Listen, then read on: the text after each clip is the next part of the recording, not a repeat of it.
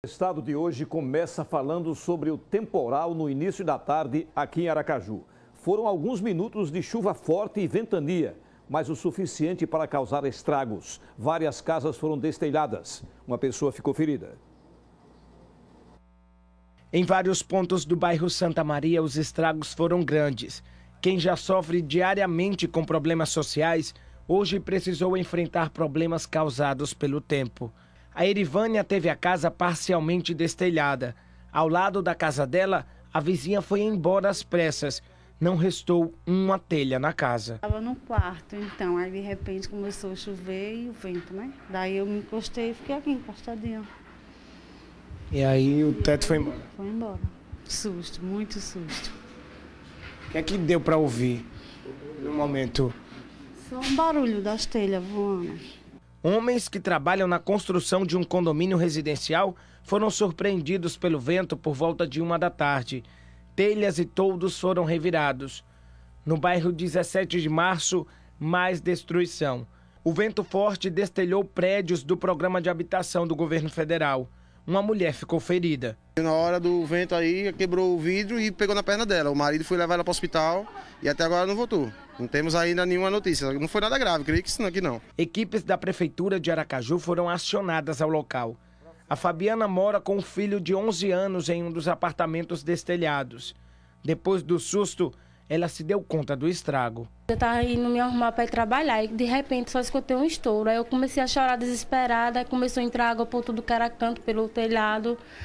Aí eu fiquei desespero, porque também como é que a gente vai ficar para dormir hoje? Quem vai confiar? Eu não tenho para onde ir. Água pelo chão e muita bagunça.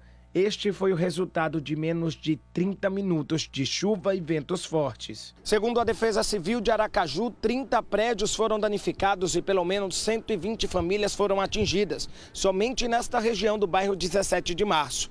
Os reparos já começaram e algumas famílias tiveram que deixar os apartamentos.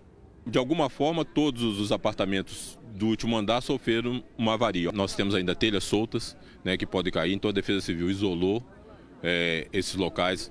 A Emurb vai entrar com seu pessoal para recolher essas, essas telhas que estão soltas para evitar acidente e concomitantemente ela vai fazer um contrato, contratar empresas para fazer o retelhamento, para fazer os reparos necessários na estrutura física desses apartamentos. Estamos atuando no sentido de fazer o levantamento dessas famílias e garantimos a todos que ninguém será desamparado, ninguém ficará sem assistência do Poder Público Municipal. Possibilidade de abrigo, quem tiver familiar, né, que puder abrigar o outro familiar, a gente está trazendo os veículos para fazer o transporte é, das casas que precisarão ser, ser, ser desocupadas. Ainda na Zona Sul, no conjunto Augusto Franco, a ventania causou estragos nesse condomínio residencial. Parte do telhado do estacionamento caiu em cima dos carros moradores ficaram assustados. Foi pouco tempo logo assim que eu cheguei, aí aconteceu isso. Aí esse estrago aí agora aí pra gente. Mas ainda bem que foi pouco. Pior que teve aí carro aí que até o para o vidro que quebrou tudo. Mas o meu foi pouco. Neste outro condomínio, já no conjunto Castelo Branco, a chuva e a ventania também causaram danos.